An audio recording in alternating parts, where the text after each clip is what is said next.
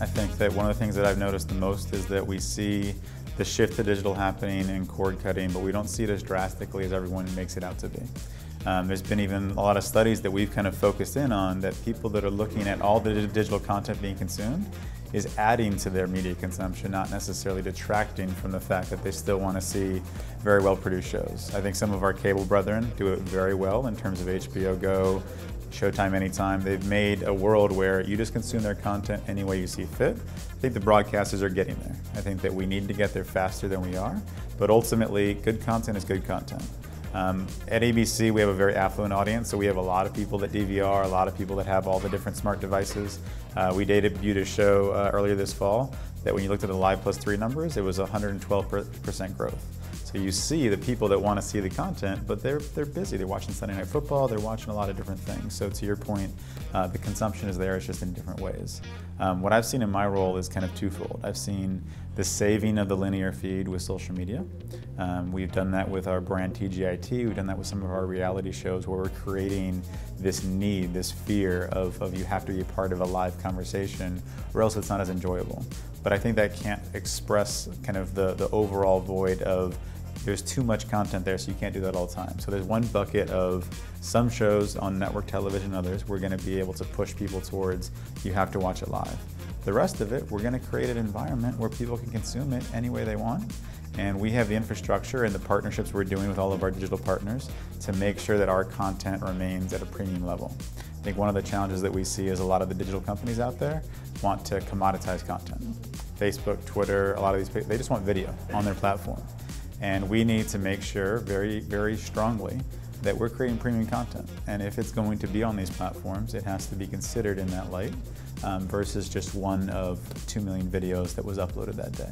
So I think that's where I'm sitting in terms of making sure that the premium content we're producing and all these other people are producing is accessible on all platforms, but is maintained in a level that is a little bit different than all the other content creators that are popping up these days. I'm excited about the content that can be produced in this new world.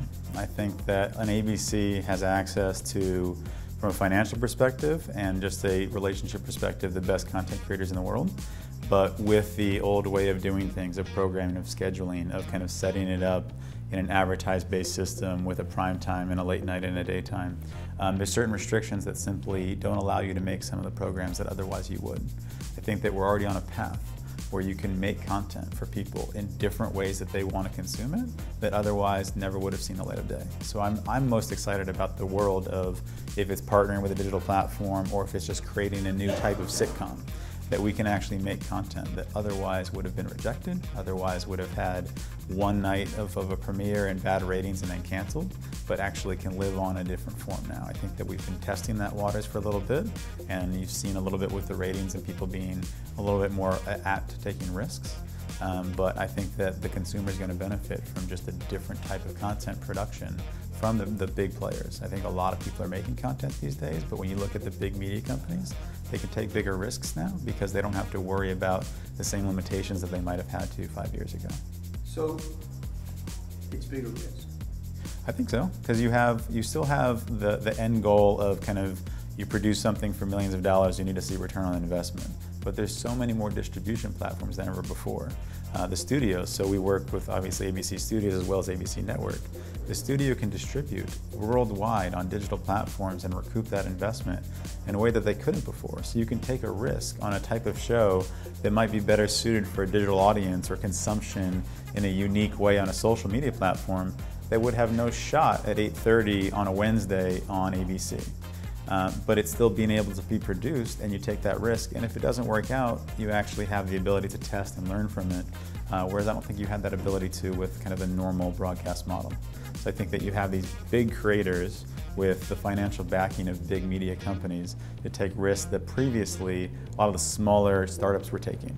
Uh, they were just getting into the content space, they wanted to try something out, but they didn't have the same backing that these big media companies do, and I think that we're now going to see more of that. I really hope that, uh, especially amongst the social media platforms, that there's more um, immediacy to discovering content in real time. I think a lot of people are moving towards that. Twitter just launched their Moments part of their app. Snapchat is all about real time. But television is tailor-made for real-time events. Um, whether it's an awards show, a big moment in one of our big series, um, a finale of Dancing with the Stars, whatever it might be. Um, social media platforms are tailor-made for, oh my God, I can't believe that just happened. I want to be a part of that too. But they're not necessarily set up as well as they could be for that. And I think that ultimately we'll get to a place where we all have different devices, we have the ability to sit in our living room, and if you hear, whether it's the 14th inning of a big sports event as far as the World Series, um, or a great finale on a huge reality show, that you can discover this in real time and immediately tune in. I think a lot of this right now, people want to be part of that real time conversation. They want to watch on their own time, but I think people still want to be part of something social.